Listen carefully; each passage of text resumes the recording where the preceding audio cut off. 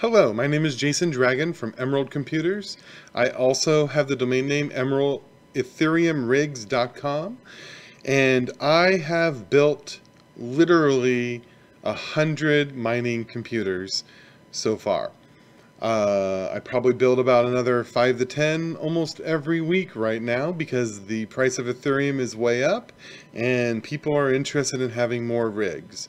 I build rigs for myself also and I also for customers in a hurry will sell them one of the rigs that I've built right away. One of my plans is that I sell turnkey rigs, which means rigs that are 100% ready to go. In fact, before they even leave my building, I make sure they mine for at least 24 hours on your account so that you can log into the mining area and you can see how the mining is going, what the performance of the computers are, and then I package it up and ship it to you. The most common mining rig that people talk about, at least, are these six card mining rig systems right over here. People like to do six card systems because the reason they do that is because most motherboards have six well, most high-end motherboards have six slots where you could physically attach a card. But I have found a lot of problems with these six card rigs. The first and foremost problem is, well, they're open, so they're almost impossible to ship. The second problem is they are very finicky.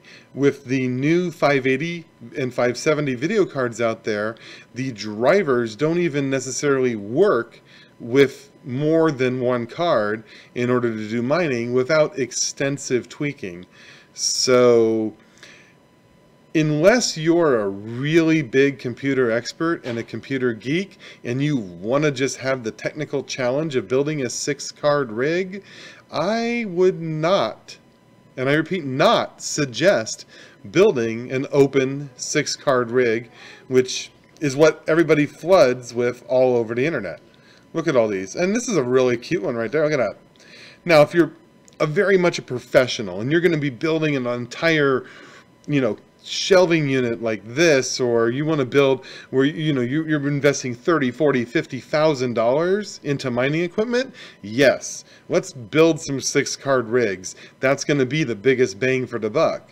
But if you're anything less than a full-time miner who has tens of thousands of dollars i plead with you don't build a six card rig. You'll be pulling your hair out. I have at least five people who purchased six card rigs off either by themselves and tried to build it themselves, or they built it from, uh, they had somebody else build it and ship it to them.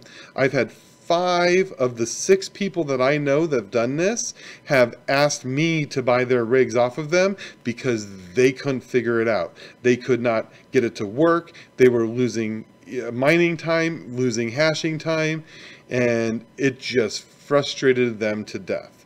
So unless you want to babysit your six card rig and you know a lot about computers, please don't build one. Don't invest in one. You're not going to make the money back that you think you are because you can't babysit it properly. And so what's the solution? The solution is let's build some smaller rigs that are much more turnkey, much easier to manage.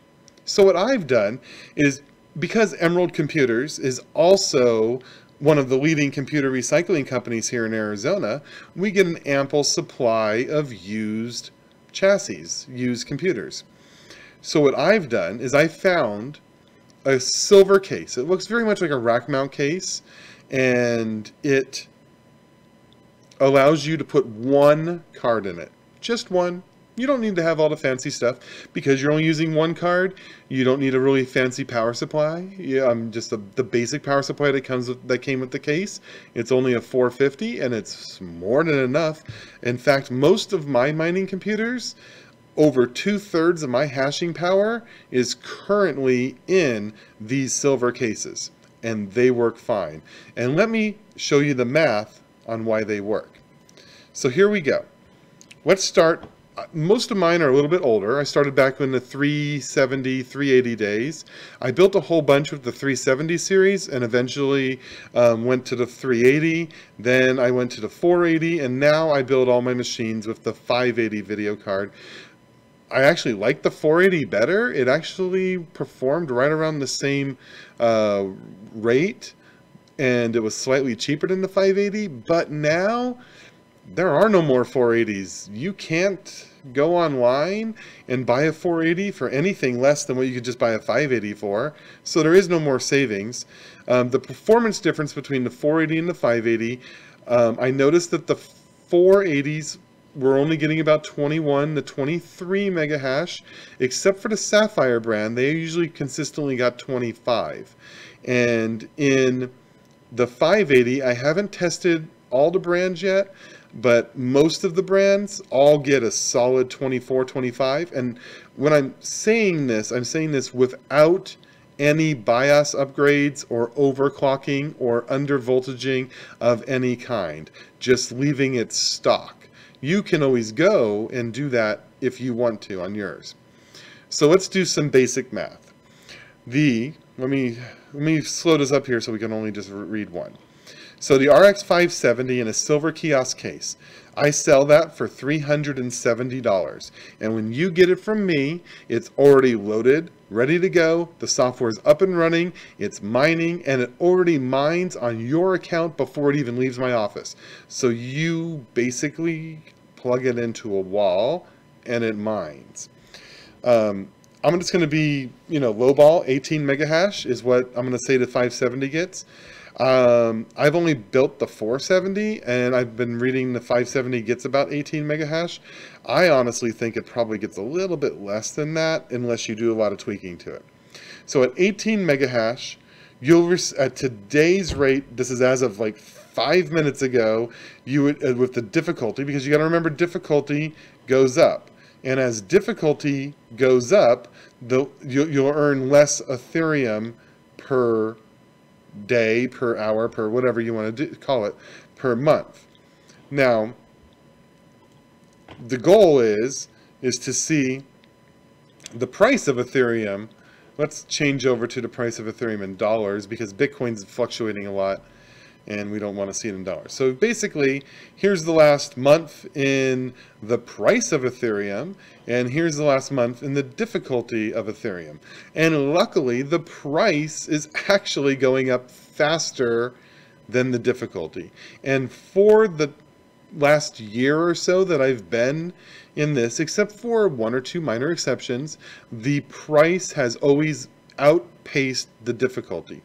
So I'm going to assume that let's just assume that the price and the difficulty on average stay exactly the same.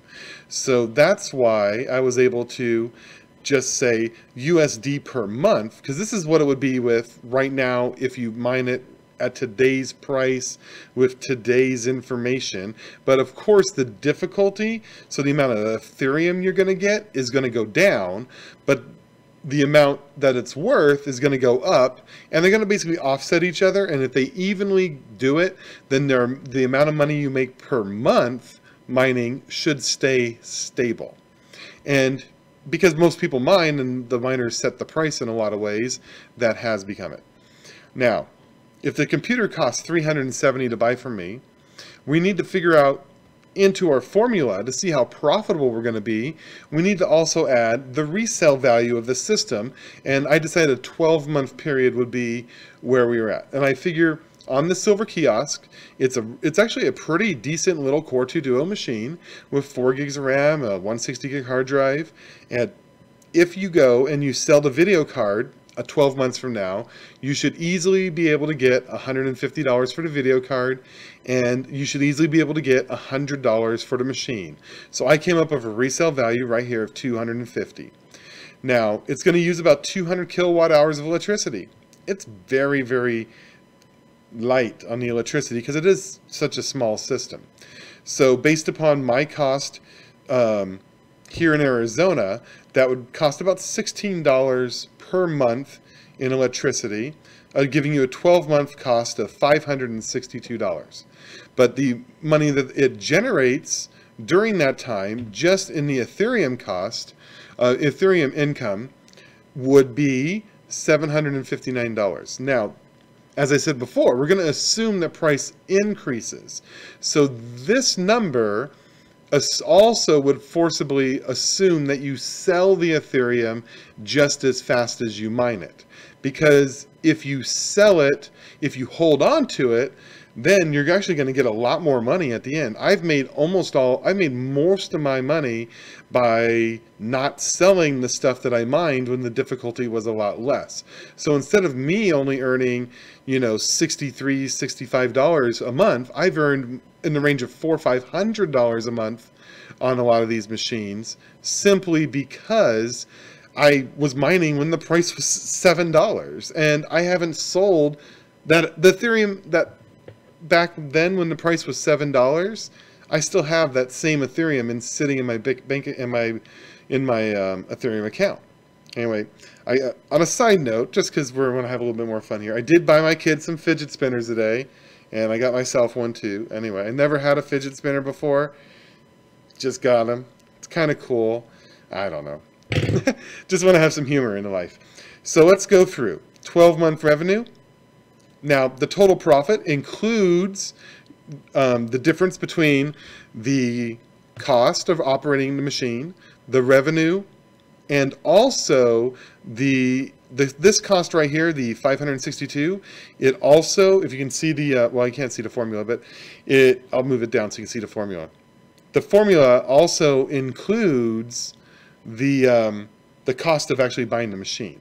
So you're going to spend, so the $16 is how much you spend per month, times 16 times 12 definitely is not 562. Um, the main cost is the cost of the computer. So you have the cost of the computer, but the revenue does not include the selling price of the computer, but the total profit does. So using this particular spec of computer for a one year period, you should expect a, a return of 221%. So if you invested $10,000 today, you should expect $22,000 back at you. So that's pretty good. Now let's let's change the numbers a little bit. Now, of course, I said I don't mine with the 170, with the 570 anymore. I mine with the 580. And this is the configuration I, I do. The difference between the, the 570 and the 580 is literally 20 bucks and I have no idea with the massive amount of extra Ethereum you're going to get, why would you ever buy a 570?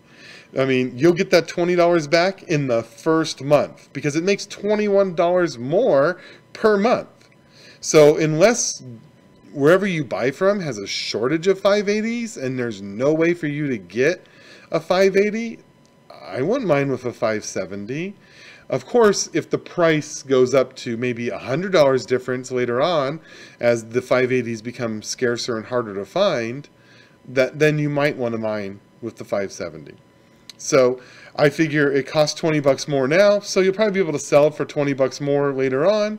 So the resale value is the same is only is basically 20 bucks more, and the purchase price is 20 bucks more. Um, it does use about 40 watts more in electricity, from what I've read uh, which is going to cost you an extra $3 a month to run it. But the difference is now you're going to make a $1,012 on a 12 month revenue, and that is a profit of 661. That is a 270% return on your money. You get all your money back plus 1.7 times more of your money. So for an investment of 10,000 bucks, you're looking at 26 $1,000 coming back at you. Now we're making a lot of assumptions here uh, that, that, the difficulty and the price go together, um, that you'll be able to sell it, um, that we won't have any hardware failures during the time.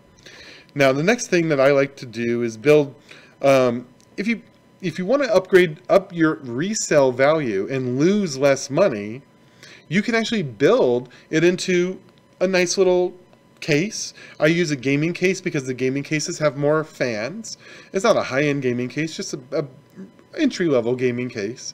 And it has a lot more fans, a lot more cooling, um, but we're still going to just go for low-end CPU, low-end hard drive, 4 gigs of RAM, To build a system like that, you're looking at 700 bucks.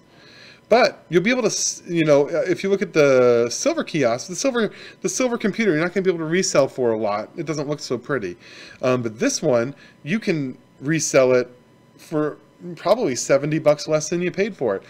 So far, I have sold about two thirds of the mining. Well, I constantly build mining rigs. I sell the ones I have, and I build more with the proceeds. And I will tell you, every mining rig that I have sold so far, I have sold for more than it has cost me to build. And even when um, in December, when we hit the two gig limit and I had six cards that only had two gigs of RAM on it, I sold every single one of those cards for more than they cost me. Simply because the, the by then the prices of the used cards were actually more than they were when they were brand new. Because interestingly about cards, when they first come out is actually one of the cheapest price points to buy them. A year later, and people get attached to a particular card and they want a particular card, the resale price of that card almost always exceeds that of the new price. Go on eBay right now. Look at what cards were selling for a year ago, brand new, and look up those same cards on eBay right now. And even after being used, even for mining, they're selling for more than they were brand new. So that's why I feel confident that you know you'll actually get way more than 630 if you market it correctly. I'm selling these at such a low price and they're so nice that you can literally use this computer, mine for a whole year, and I think selling it for 630 would be a very easy task. Now, of course, it has a little bit higher in power supply, a little bit, well, let's say um, the CPU and the hard drive probably use about the same amount of RAM. The power supply does use, I mean, the same amount of power. The power supply maybe uses an extra 10 watts. So we'll go with 250 on that. Now, because it is still, you know, you're going to get the same monthly revenue, and but you're getting a little bit more profit simply because of the higher resale value percentage. But you're getting a much lower return on investment simply because it's a higher, more expensive computer to begin with. So if you invested $10,000 in that, you'd only be getting $20,000 back. Now let's go with um, a 2 RX 580s in one case. Now, all you really have to do is make a little bit more powerful power supply, which costs a little bit more money. And now we also need to put in a second video card, which of course costs more money. We've basically doubled the mega hash.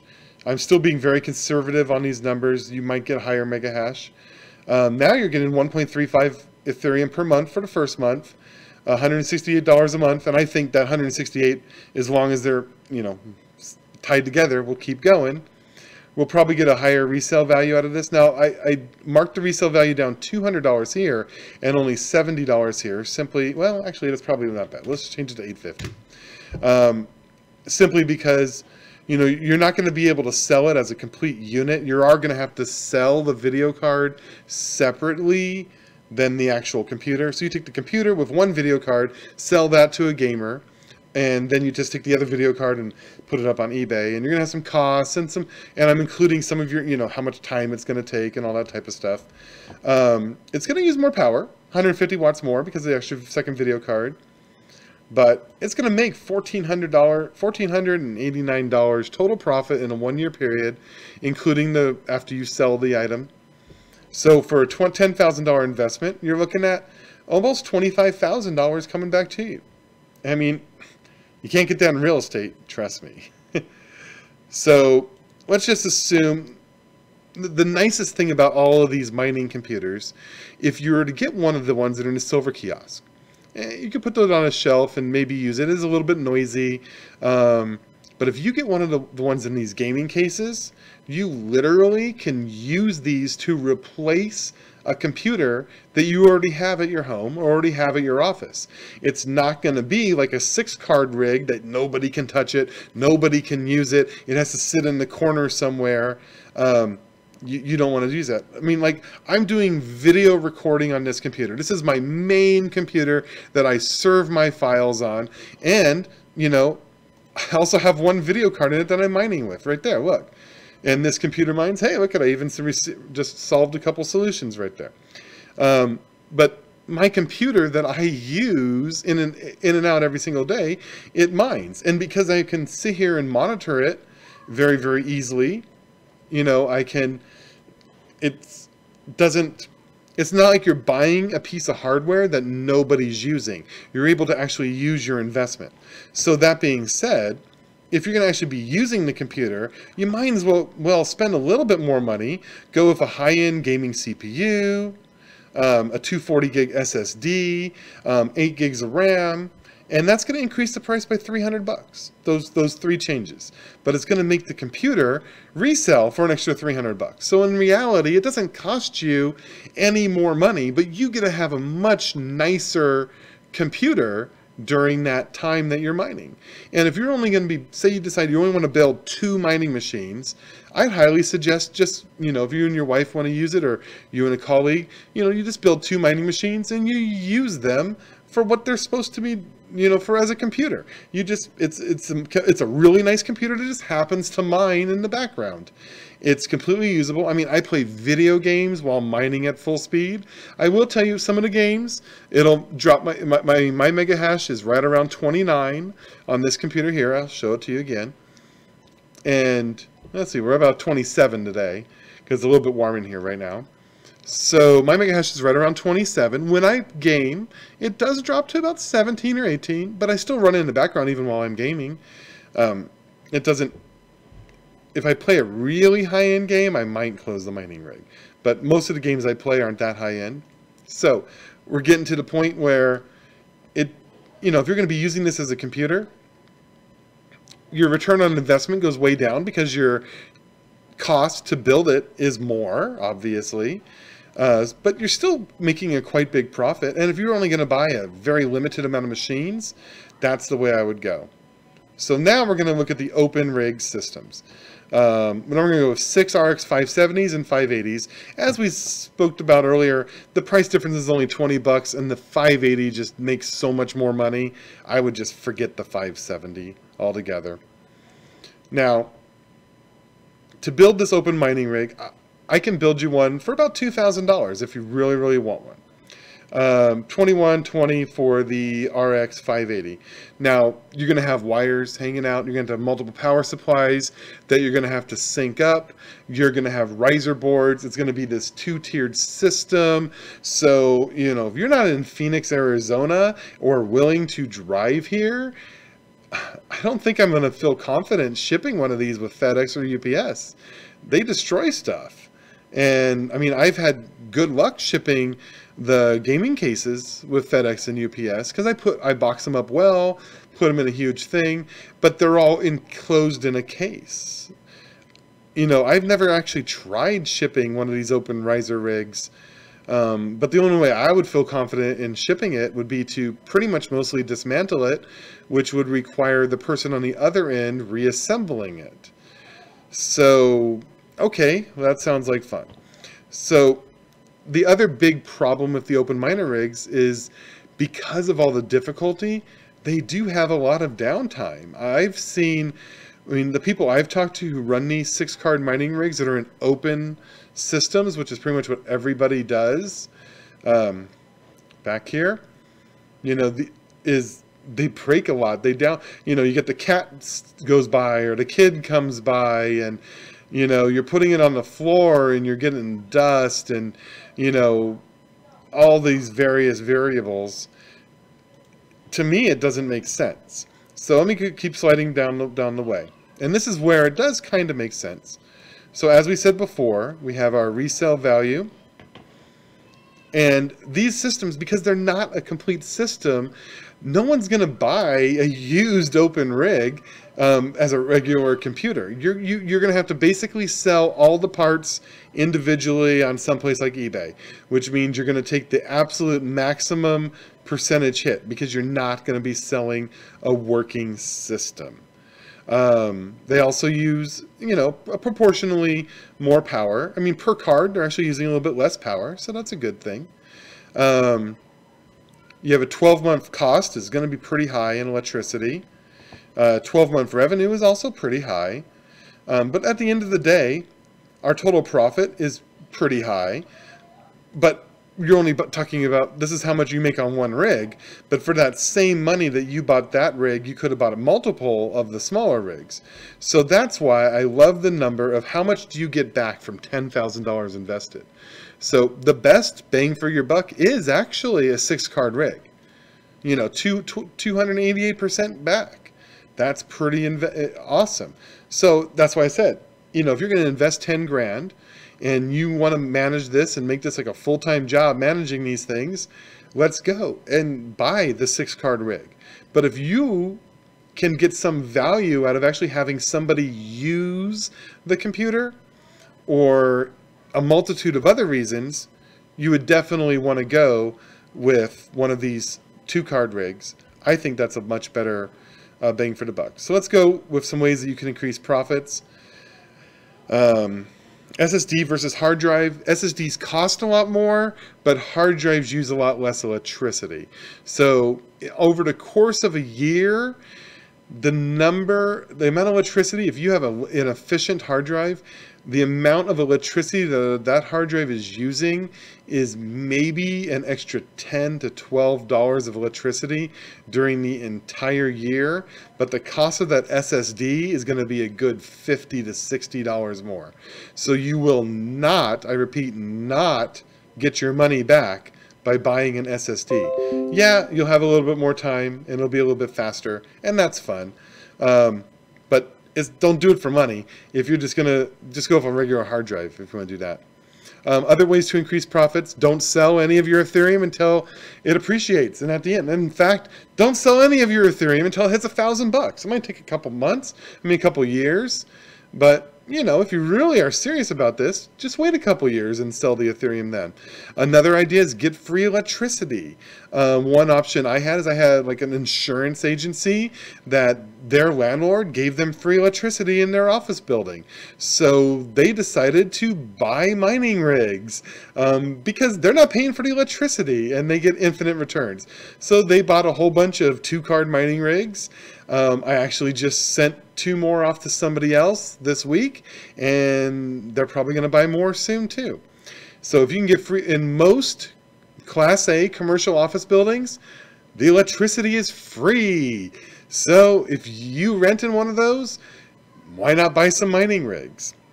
Um, of course, if you buy in bulk, you can get slightly better pricing. Like say, for example, you bought 10 rigs from me, I'll probably give you, you know, maybe an 11th rig for free.